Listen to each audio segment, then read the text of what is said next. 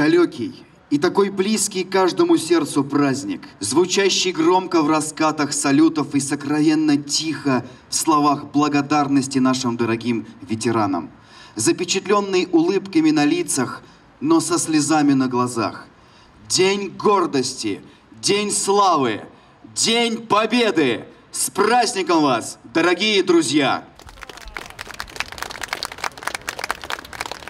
Снова мирное солнце взошло, Салютуют сирени каштаны, И назло смертям и ранам Счастье снова в каждый.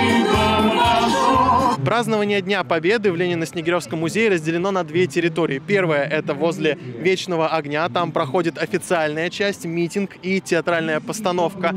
И вторая часть – вся остальная территория Ленино-Снегиревского музея. Здесь люди могут посмотреть на экспонаты, на танки, сфотографироваться рядом с ними, либо приобрести какие-то сувениры и даже поиграть в тир.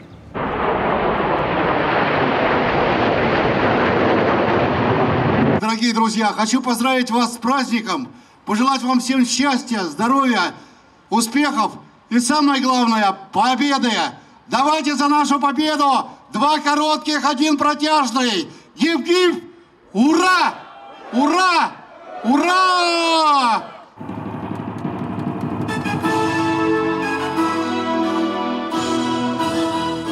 Пожалуй, главное отличие празднования Дня Победы в 2021 году заключается в том, что сегодня, к сожалению, не пройдет бессмертный полк. Это шествие, которое уже стало традиционным. Люди с портретами на руках, где изображены их родственники, участвовавшие в Великой Отечественной войне, выходят на улицы. К сожалению, из-за пандемии коронавируса сегодня бессмертный полк пришлось отменить. Однако в каком-то формате, в формате онлайн, он все-таки произойдет. И будет это в 3 часа дня. С праздником Великой Победы! Ура, ура, ура! Это портрет моего прадеда а, Егоров Петр Кириллович. Он рожденный был в городе Дедовске, бывший Гучково. Оттуда его забрали э, на войну. А, К сожалению, из-за большой утраты он погиб на Курганской дуге 17 марта 1943 года. Но мы его разыскали. Был награжден посмертно орденом Красной Звезды и орденом Славы.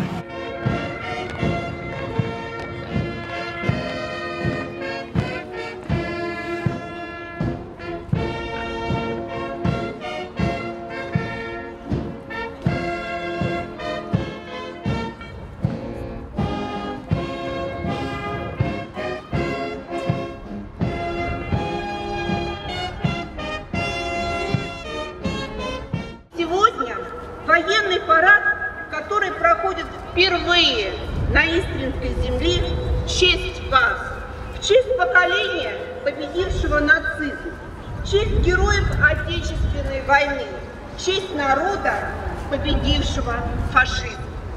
Светлая память павшим героям. Слава народу, победителю. С праздником вас! С Днем Великой Победы!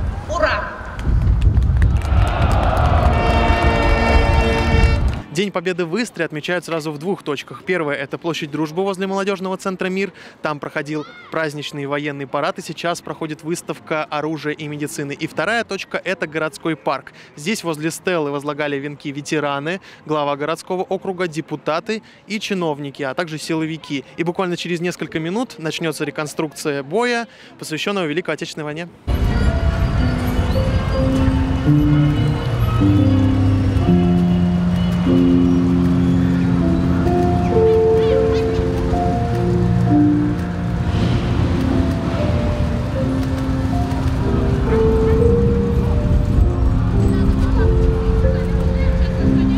Это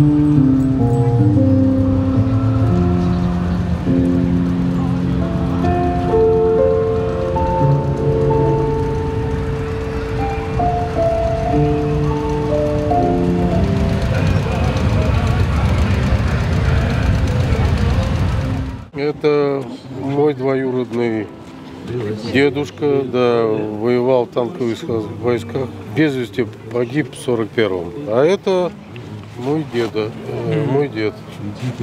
Погиб под Оржевом в 41 году, в октябре месяце, был сапером. Он из деревни Брыкова, ныне поселок Глебовский. Старший матрос, торпедист. Медали у него за э, оборону Сталинграда.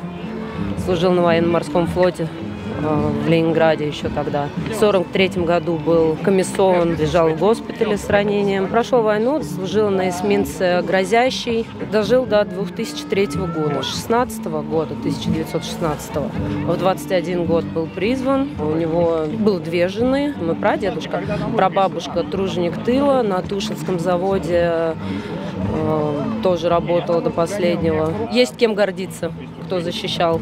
Да, А вот откуда он сам, Николай Иванович? Отсюда, из Истры, деревни Трусово. Там родился, там жил, ну, до конца.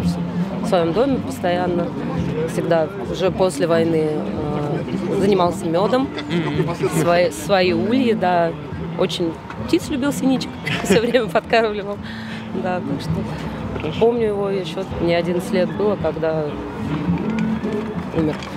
Делал какие-то наставления свои, рассказывал? Никогда не рассказывал про войну, никогда. Это я уже узнала о нем, ну, скажем так, где служил, кем служил, кем был, уже непосредственно из архивных документов. мы с вами увидим трагичные страницы замечательного города Истра.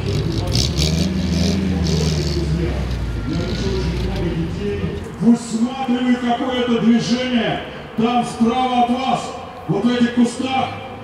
И мы видим, что там что-то действительно происходит. Мы видим шевеление и появление камуфлированных солдат вермахта. Смотрите, боевой мотоцикл, пулеметчики, наверх! Они едут вперед! И мы видим, что солдаты начинается боестолкновение!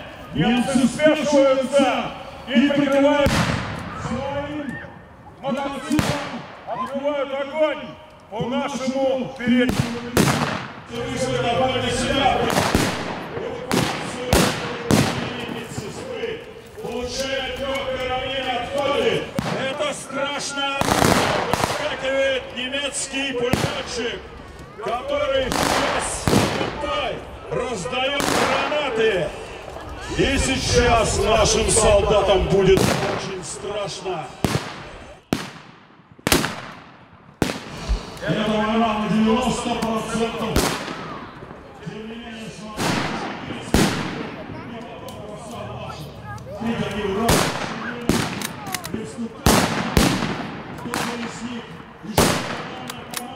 Заряжай! Пушкой. Была разбита немецкая авиация. Поднимется в атаку. Видите? Флангу спрашивают немецкие разведки. Наша артиллерия сражает одного, а потом второго. Враг повержен, но это всего лишь передовой дозор. Там где-то за рекой накапливаются ударные силы СС и Вермахта. Во славу русского народа! Во славу Российской Федерации! Todos!